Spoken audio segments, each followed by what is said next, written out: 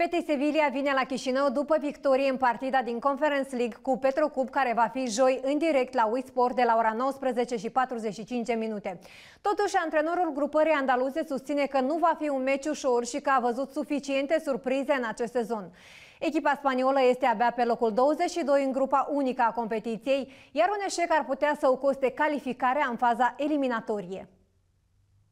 Betis Sevilla, care are un lot de aproximativ 200 de milioane de euro, nu se va putea baza pe mai mulți lideri, cum ar fi Giovanni Lo Celso, William Carvalho sau Marc Roca. Totuși, echipa spaniolă vine la Chișinău cu moralul bun și asta pentru că a remizat cu Barcelona în ultima etapă din La Liga. În Conference League, însă, andaluzii nu s-au ridicat la nivelul așteptărilor. Cu o singură victorie în patru etape, Betis se află pe locul 22 din cele 24 de echipe care vor accede în faza eliminatorie. Creo que llegar a, al mes de diciembre, cuando se venga el parón por el fin de, por el fin, por Navidad por fin de año. Lo ideal, ¿no es cierto? Y el objetivo nuestro está clasificado en las dos competiciones, ya en una lo logramos y ojalá mañana hagamos un partido con la, con la, calidad necesaria para poder doblegar a un rival que siempre los locales son, son difíciles.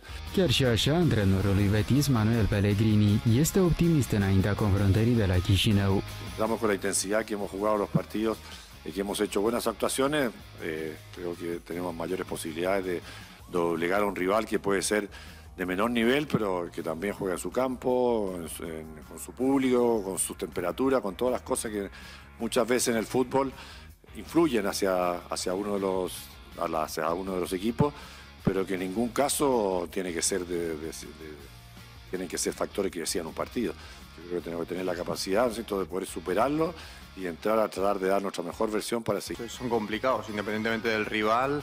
Eh, hay muchas circunstancias, eh, campo, temperatura, como decía el Mister también, eh, las bajas, todo eso nos tenemos que olvidar, nos tenemos que abstraer y ver que las oportunidades ya no hay más oportunidades y tenemos que, que salir por partido como si fuese una final